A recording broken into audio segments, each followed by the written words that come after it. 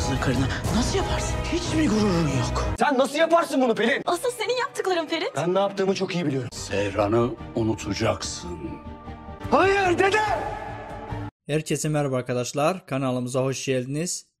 Yalı Çapkın dizisinin 49. bölümüne ait olan yeni bilgileri sizlerle paylaşmak istiyoruz.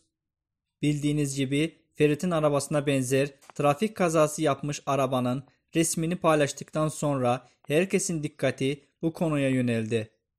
Bizlerin aldığı spoiler bilgiler arasında Ferit'in hafif bir trafik kazası geçireceği ve kaldırıldığı hastanede de Seyran'ın da duymasının üzerine yanına geleceği ve böylelikle Seyfer arasında gerilimin az da olsa ineceğini sizler şahit olacaksınız. Bu konuyla ilgili sizlerin düşünceleri nelerdir? Yeni fragmanın da Perşembe günü geleceği söyleniyor.